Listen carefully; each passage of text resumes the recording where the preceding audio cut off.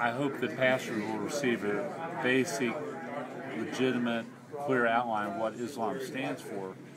First of all, to be able to share the gospel more effectively with Muslim people, but secondly, too, to gain a deeper appreciation for the uniqueness and the beauty of the Christian faith, particularly the issue of salvation and the, the glorious treasure we have in the gospel. Both of those issues are very important in the world we face today with the multiplicity of faiths and with the challenges to the Christian faith and with the need to evangelize the world in our generation.